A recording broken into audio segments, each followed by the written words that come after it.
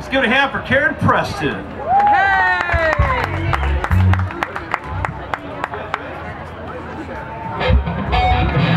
That's right. On the, featuring this one, uh, Karen on the vocals here. Go ahead, Jeremy.